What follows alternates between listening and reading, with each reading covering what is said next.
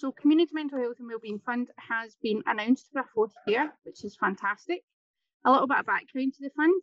Um, the fund was introduced after COVID-19 for mental health recovery, specifically for adults only. There is a separate children's mental health and wellbeing, but we don't distribute that. That's seen by South Lanarkshire Council.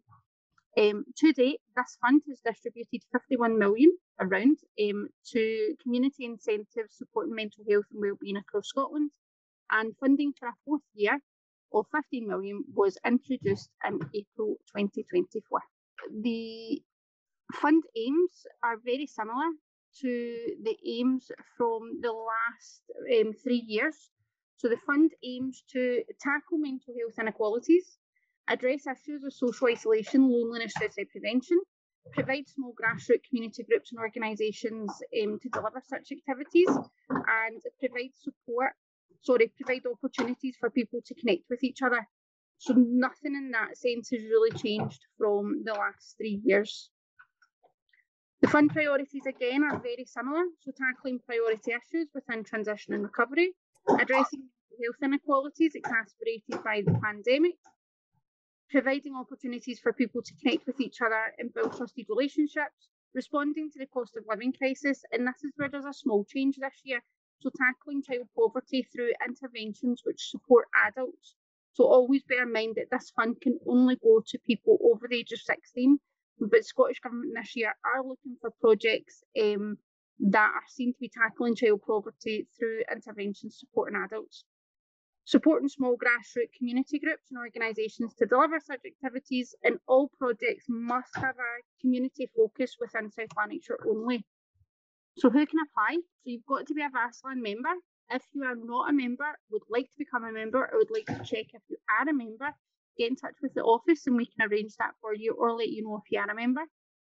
You must be a Scottish Charitable Incorporated Organisation or unincorporated, a company limited by guarantee, a trust, not for profit or asset lock company, community interest company, a cooperative um, or community benefit society, community council, or parent council now, with this fund being specifically for adults over the age of 16, parent councils can apply. However, the project has to be for anyone over the age of 16 and cannot be for young people.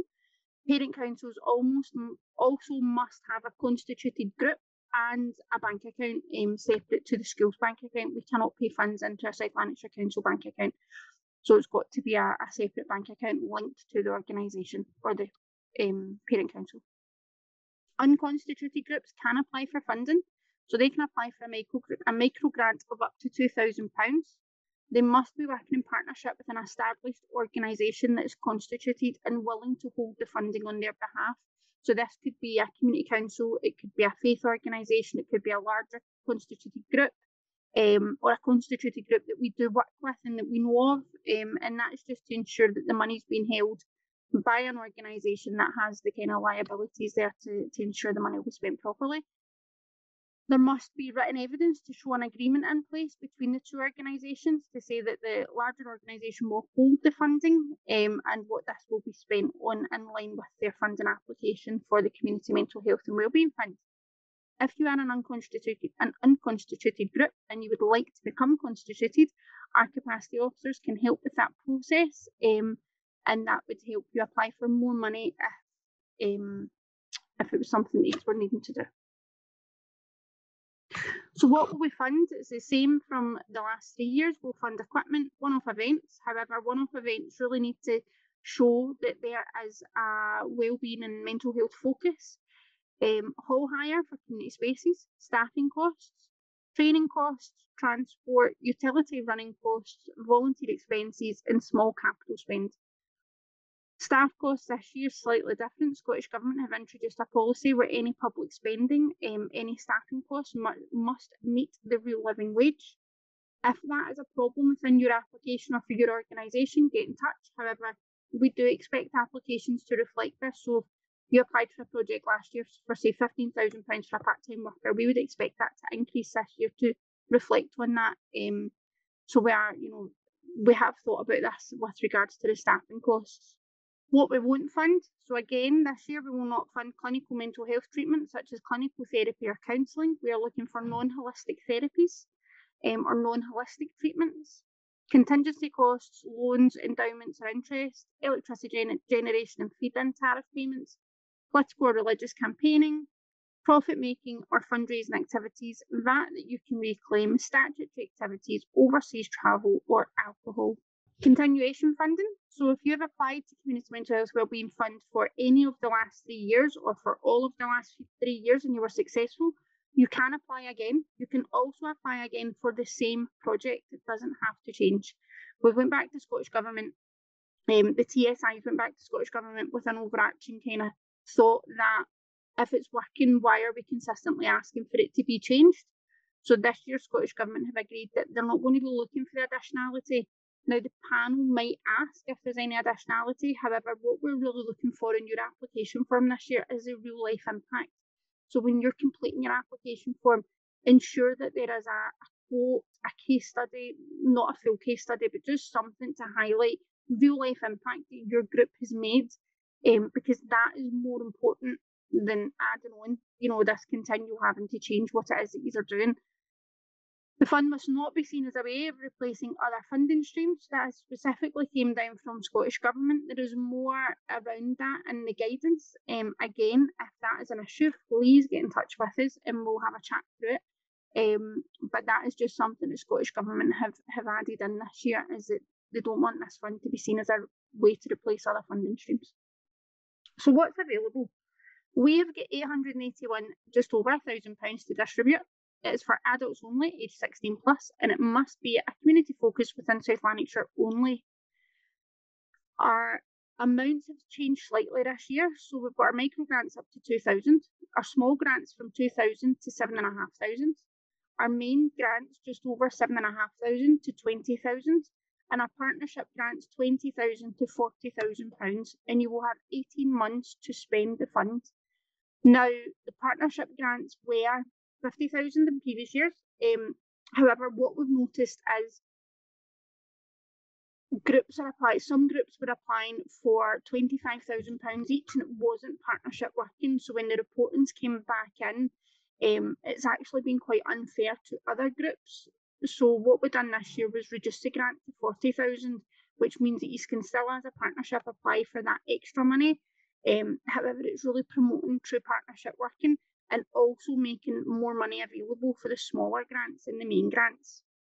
This year, we decided to hold focus groups um, for people who had been successful and people who had been unsuccessful. We have never came back to the sector and asked how we're doing as a grant maker.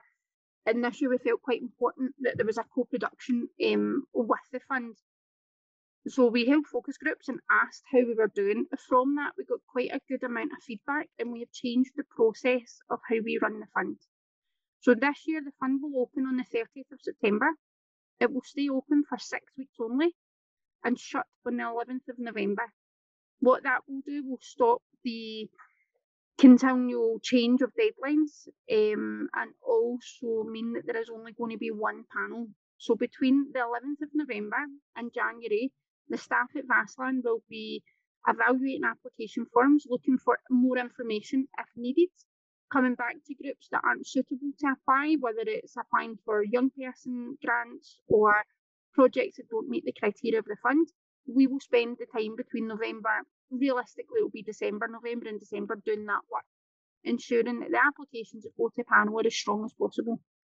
All applications that are suitable and meet the criteria will go to panel on the 9th and 10th of January. There will be one small panel and one large panel. This will prevent it being a first to the post, so first application in, first group of applications at first panel. It makes the process fairer. And then all funds will be paid out through throughout January and February. So as soon as you've been notified that you're successful, if you get your invoice back into us within seven days, your grant money will be with you within two weeks. This was based on the feedback that we've received from the sector to try and make the fund as fair as possible. There will be a locality split again this year, so each locality will have, on average, around £220,000 um, that will be distributed. We went back and checked the figures this year, and it was a really fair way to do it.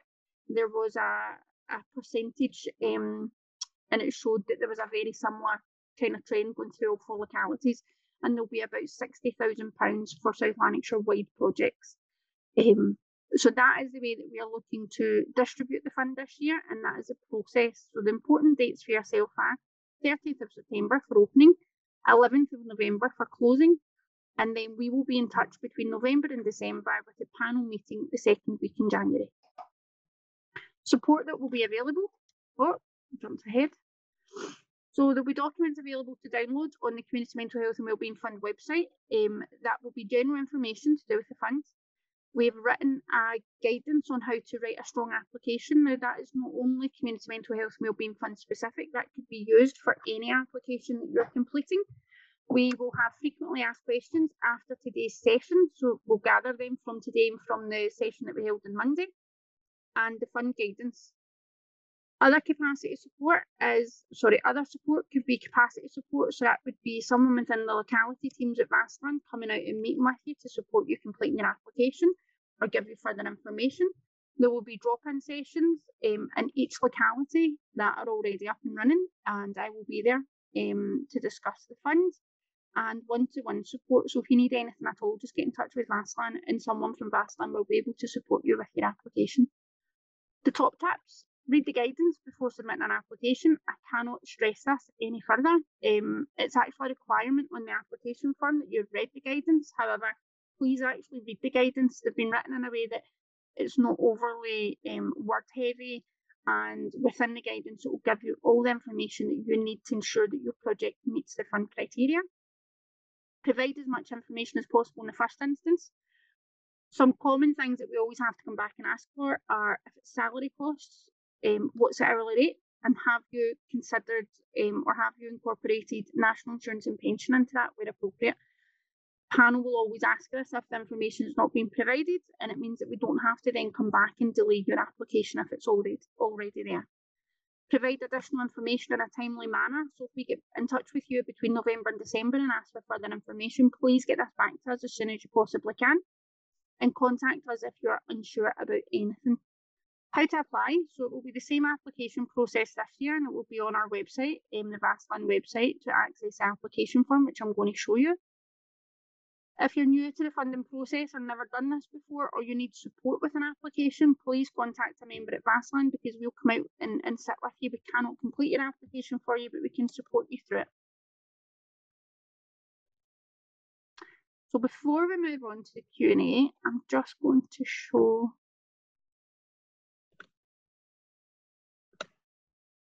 the website. So this will be the website. Um, it will be www.vaslan.org.uk and then there will be a link to then move on to the Community Mental Health and Wellbeing Fund page or to go directly to it.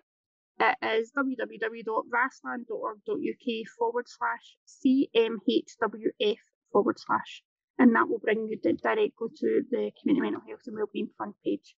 This is where your link will be to apply. Contact details if you need any further support and then down here is where there'll be further information and the links to the guidance documents um, will all be held here. So if there's anything you need at all before getting in touch, jump onto the website um, or give us a phone and we can help. We can we can talk you through it. The application form, which is still completed, which is great. So I've completed one just to kind of talk us through it. So this is the first page of the application form.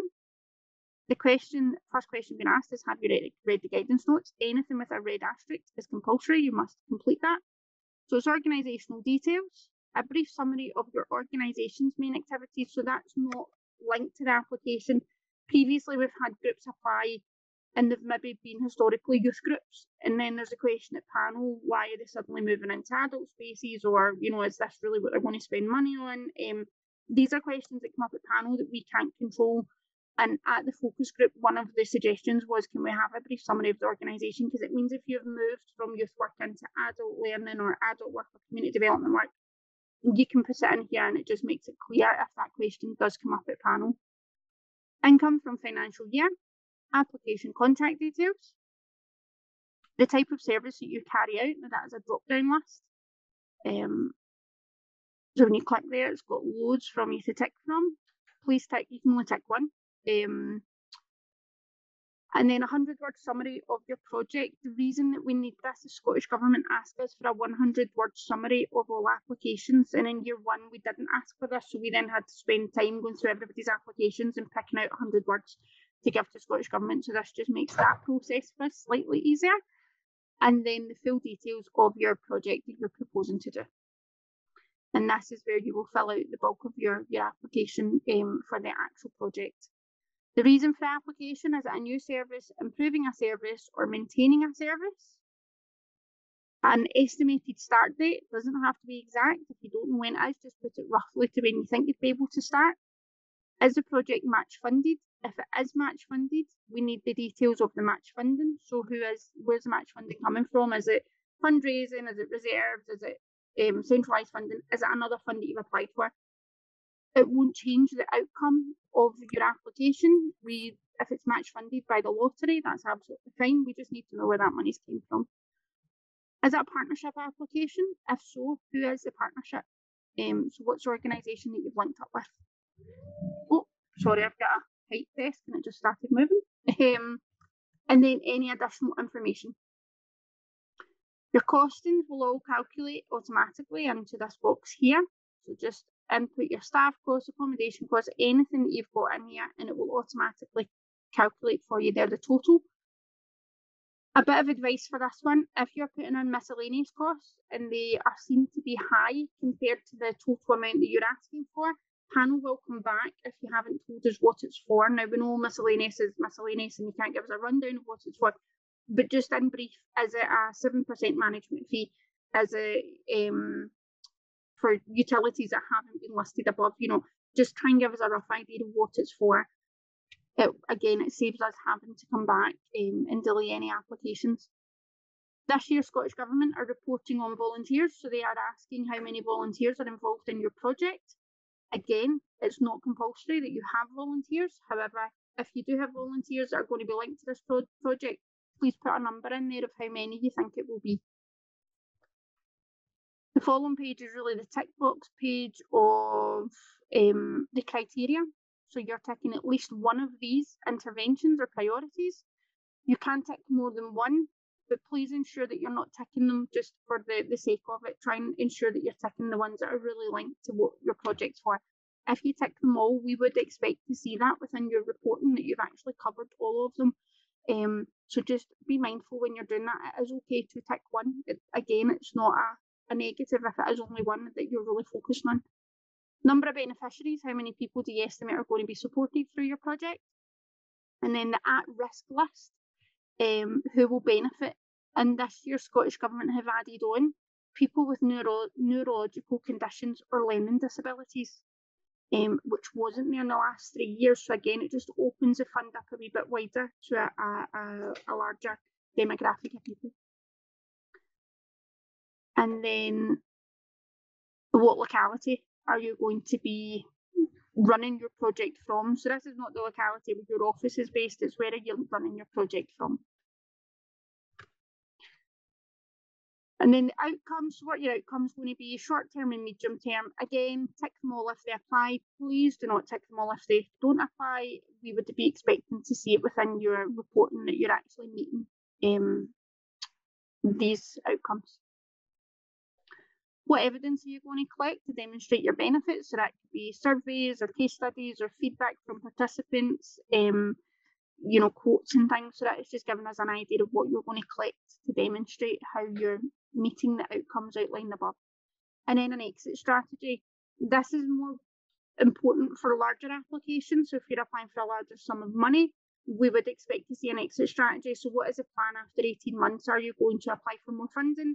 Is the project going to end? Um, just be honest in there about what you feel your exit strategy is going to be for after the the application. Eh, sorry, after the money's finished. And then finally, it's just the consent. Um, you are agreeing to be a member. You're agreeing that information will be shared, and then you're submitting the application. The application will come straight into our EPI system. Um, and as soon as it comes in, we will start the process of evaluating it and getting in touch with you to ensure that all information's there. And if we feel there's any other information missing, or if we know of other work that you're doing that would be beneficial to you on it, we'll, we'll get in touch and, and provide that support. Um, we will never change an application for anyone without speaking to you first. So that is the presentation, the application form and the website.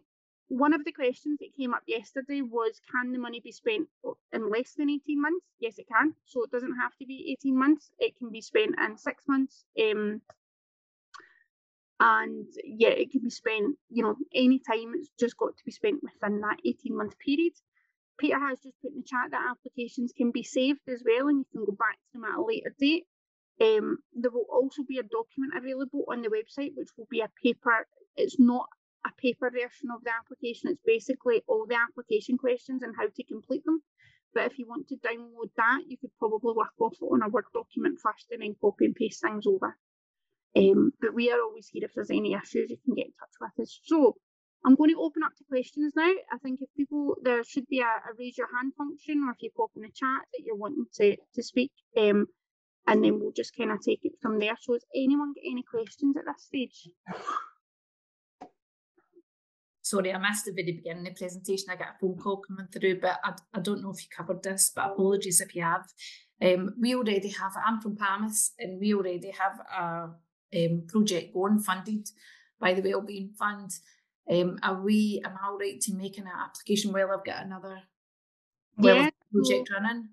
that's absolutely fine. This is a new fund, so you are entitled. If we understand that there's projects that will still be running from last year's funding, it's absolutely fine to apply again, and you can apply for the same project. Um, we just look for real life impact. So, what difference is your is your current project making to people? Um, and if there's any further information we would need when your application comes through, we'll come back to you.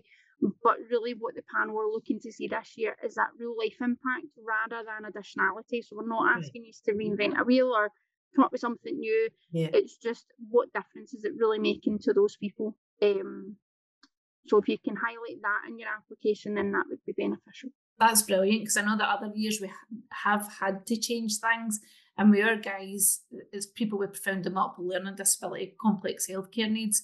So changes can a year isn't a long time for things to impact that group. You know, it's repetition, and um, so being able to extend the work is actually brilliant. It's great that you don't actually have to change it again to make the application. So that's brilliant. That really suits us. Thank you very much. No problem.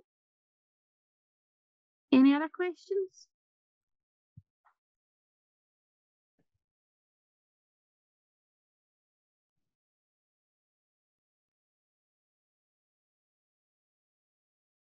I'm just going to check the chat and see what we've got in there. Oh, Carol. Hi, yeah, I think maybe you might have answered it. It's Carol Gemmell from Finding Your Feet. Um, you might have answered actually just with that last response was about. I really love the fact you were talking about continuity funding, and we don't have to demonstrate a different project. We can talk about going in for more funding, and it was just to ask you to talk a bit more about that, about what sort of evidence you'd like to see? What what would be the best evidence to provide about the benefit that we're so why we'd want to continue? Yeah.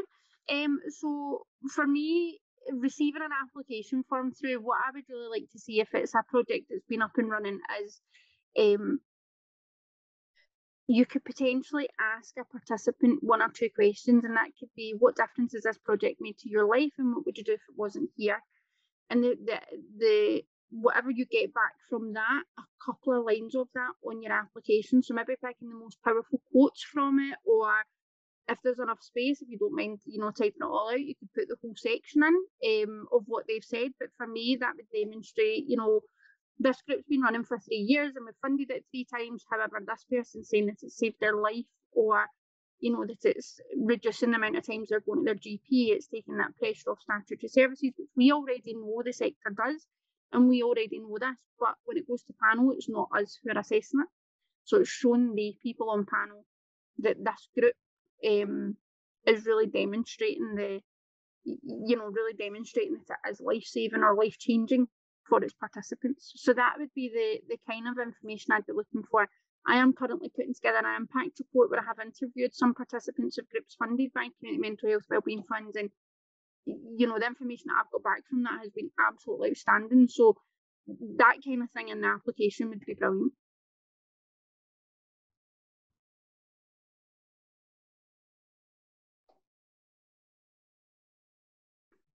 Okay. Is there any other questions? We're doing good for time here, mate, actually. still use all some time back. If anyone has questions that they want to ask and don't feel comfortable asking on the call, then you can email myself. Um, all my details are on the website. Um, but Carol, if you want to come in. I, I don't actually have a question as such. I just wanted to say that um, everything you've said sounds really straightforward and um, and thank you. Um, and it, I, am really relieved, as I think somebody says earlier, that we don't have to reinvent the wheel, um, because um, I've just kind of run out of money on the the pro- an area of the project that I'm doing. So it's good to know that we can just continue. Yes. So I don't have a question as such, just to say that it was straightforward. Thank no problem. We try and keep the funding as straightforward as possible um, where we can, and luckily enough, the Scottish Government allow us to make this um, fund very straightforward. They don't they mm. don't hit us with a lot of reporting requirements. Um, well, that was the final thing I wanted to to to show you. This year we have been very fortunate that Scottish Government have already given us the reporting requirements for you guys. So anyone applying for the fund and successful, we already have what we will be asking you to report on. This is in the guidance. So when the guidance is uploaded onto our website, which will be in the next two weeks, um, you will be able to see this. But I'm just going to share with you now the, the information that they're asking us now. There might be additional information added on top of this. I don't expect there to be. However, Scottish Government may decide that there is additional information. So at present, and this is what we are being asked to ask you guys in your evaluation. So it is what you were expected to do and what you actually did. So that is any activities that were undertaken matched against the application form. So is it similar? Is it the same? You know, is it what you expected? Um, please let us know of any achievements to date that you were particularly proud of and demonstrate the difference made to individuals' mental health and well-being. So this is kind of going back to that impact that I was talking about, that real life impact. Um, that could be through a case study or it could be through um, quotes or videos or photos. If you need support with that, let us know because we will be able to help. Um, and please tell us how you achieved your proposed outcomes and then any challenges or changes that were made to the application. Now, what I will say is if you apply for money and you find a couple of months down the line it's not working, that's absolutely fine. Please get in touch with us because if you have another idea or we can work with you to create another idea that still help still ticks the boxes of mental health well-being the priorities and the outcomes of this fund. We're not instantly going to ask you for that money back. We will then allow you you won't need to reapply we'll then allow you to adapt um, to spend that money in another way that's still going to meet the outcomes of the fund. The last thing we want to do is to be calling money back from people. Um, so if we can help you in any way in that sense we will but we just needed to be honest with us because we don't want it to get to 18 months and you guys are reporting and it turns out that the project didn't work when we could have had time before to try and help fix it. So just let us know. Um, there will be a condition in the grant this year that you are allowing you are allowing us to come out and do spot checks. So we might come out and join a group one day. We wouldn't do this if it's very vulnerable people that you're working with. We would get in touch first. Um, but we might come out and do one of your art, if it's an art class or a walking group, we'll come and join in. And again, that's just letting us see the real difference that you are making to the sector and allowing us to go back and fight for fairer funding um, with Scottish Government, South Lanarkshire Council and National Government. It gives us that evidence to be able to say, no, we've seen it firsthand what they're doing. Um, so that's the kind of evaluation impact questions that were being asked. It's really good you've got this this year. Let's just start planning your evaluation documents um, to get back into us. And again, it's something that you have asked us to get as, as soon as possible. So the fact it's out before the funds is really good. It will be in our guidance documents for everyone to have a read through. Um, and you can maybe link it to when you are doing your application. Okay. Well, I am happy to end the meeting. If anyone has anything at all that they would like to speak to me about, or if you'd just like me to come out and see your organisation and have a chat with you, um, that's not a problem at all. Peter's put lots of information in the chat, my contact details, the website, um, which will be updated in the next two weeks with the guidance and the application form will go live on the 30th. That will not be up before then, but all the documents will be so that you can start planning your application.